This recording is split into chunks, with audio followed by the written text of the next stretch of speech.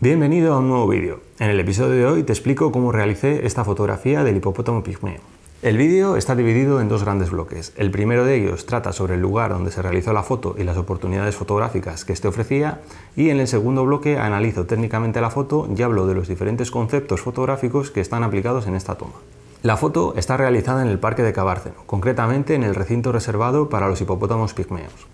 El lugar consiste en un lago con un arbolado generoso que en un día soleado crea un juego de luces y sombras muy agradecido de fotografiar. Sin embargo, en el vídeo de hoy las condiciones no eran las ideales, ya que por una parte era última hora de la tarde, en un día que estaba nublado y la luz, a pesar de ser difusa, era muy tenue y por las características que tiene este lugar, nuestro protagonista no estaba bien iluminado. No obstante, el hipopótamo estaba muy activo y, como siempre digo, hay que aprovechar las oportunidades fotográficas cuando se presentan como las que se estaban dando hoy con nuestro sujeto. A la hora de determinar qué velocidad de obturación usar, tenemos que valorar diferentes factores, como son la focal que estemos utilizando, qué distancia hay entre nosotros y nuestro sujeto, si el movimiento que está realizando este es en el plano vertical o es en el plano horizontal y si se aleja o se acerca a nosotros. Como norma general, lo ideal es utilizar una velocidad de obturación de 1 dividido por la focal que estemos utilizando.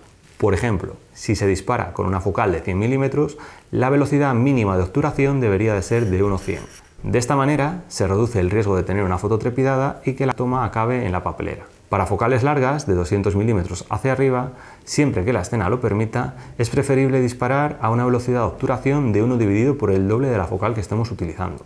Como la foto está realizada con una focal de 400 milímetros, idealmente se debería utilizar una velocidad de obturación de 1,800. Sin embargo, dadas las condiciones de luminosidad y la lente que estábamos usando en este momento, aplicando la regla de los recíprocos, habría necesitado disparar a un ISO de 6400 en lugar del ISO de 2500 que finalmente utilicé.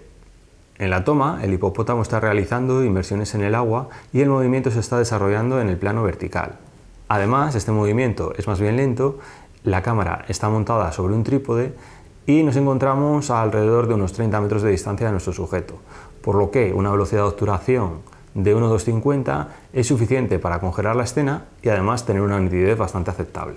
El resto de parámetros de la toma son un diafragma f8 y un ISO de 2500. Generalmente, cuando se habla de composición, la primera idea que viene a la cabeza de cualquier persona es la regla de los tercios. La regla de los tercios es la cuadrícula imaginaria que divide la foto en tres tercios verticales y tres tercios horizontales. Las intersecciones donde se cortan estas líneas son los puntos áureos. Tenemos que tener en cuenta que todos los encuadres tienen dos líneas de vital importancia como son la diagonal principal y la diagonal secundaria. Centrándonos en la foto, si aplicamos la regla de los tercios, vemos que la cabeza del hipopótamo coincide perfectamente con la línea vertical que divide uno de los tercios. Además, el ojo del hipo coincide con un punto áureo de la foto, quedando de esta manera un encuadre que es equilibrado y agradable a la vista. Si prestamos atención a las divisiones horizontales del encuadre, en el tercio superior tenemos las rocas, en el tercio inferior tenemos el lago y en el medio estaría nuestro hipopótamo. Si nos fijamos en el tercio medio, al trazar su diagonal vemos que la dirección de la misma es paralela a la dirección que tiene el hipopótamo en la escena, dando de esta manera lugar a un gamut único y dominante en esta toma. Es decir, todas las líneas de peso en el encuadre son paralelas y además están en el mismo sentido. Esto ayuda a crear una imagen que es organizada y dinámica. Otro detalle importante de esta fotografía es que el hipopótamo no toca las rocas situadas en el tercio superior. Es muy importante que nos fijemos en el fondo a la hora de fotografiar para que nuestro sujeto no esté superpuesto con este.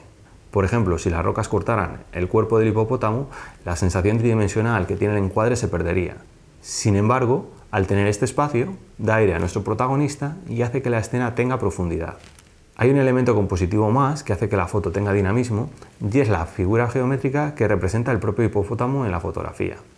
Si trazamos un rectángulo siguiendo el contorno del hipopótamo, justo donde se junta con el agua, y lo proyectamos en el sentido vertical, vemos que tenemos un bloque que parece avanzar en la foto y hace que esta toma sea más dinámica. La foto está ligeramente balanceada hacia la izquierda, dejando más aire a la derecha, respetando de esta manera la ley de la mirada, que dice que debemos dar espacio al lado del encuadre donde mire nuestro protagonista.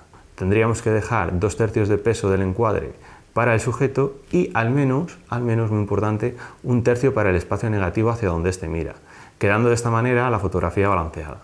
Te animo a que pongas en práctica los conceptos que he explicado en este vídeo, cómo seguir de manera subjetiva la regla de los tercios, cómo controlar la velocidad de obturación en función de la focal que estés usando, prestar atención a las diagonales del encuadre, situar al protagonista en una zona limpia donde no haya cortes ni superposiciones y ver qué figuras geométricas podemos formar en nuestras composiciones. Por último, muy importante, tener en cuenta la ley de la mirada a la hora de ubicarnos a nuestro sujeto y cómo distribuir el encuadre. Espero que te haya gustado este vídeo, si tienes alguna duda o sugerencia, por favor házmelo saber en los comentarios y si te gusta este tipo de contenido no dudes en suscribirte. Nos vemos en el siguiente vídeo.